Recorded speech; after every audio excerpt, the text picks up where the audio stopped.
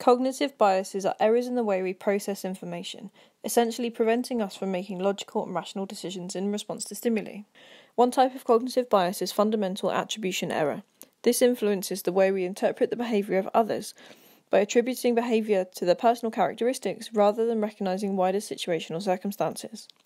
For example, if someone is late to work, through fundamental attribution error, a boss might blame the employee as lazy and irresponsible rather than recognizing the wider factors that caused him to be late, such as the bus breaking down.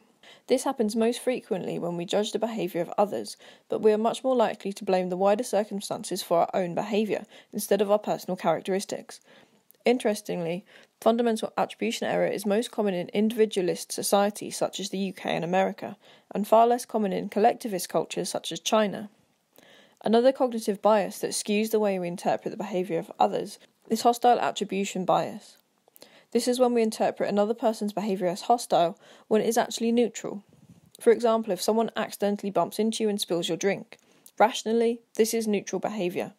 However, someone with high levels of hostile attribution bias might interpret this action as deliberate and hostile, therefore causing them to respond in a way that they feel is appropriate to this hostile situation. This theory can therefore be used to explain aggression in some cases. There are many studies that support this explanation for aggression. However, one of the most significant limitations of this evidence is that it shows a correlation between hostile attribution bias and aggression, but does not prove that it is caused by it. Another type of cognitive bias is confirmation bias. This is the theory that we are much more likely to focus on, interpret, and recall information that confirms our existing beliefs.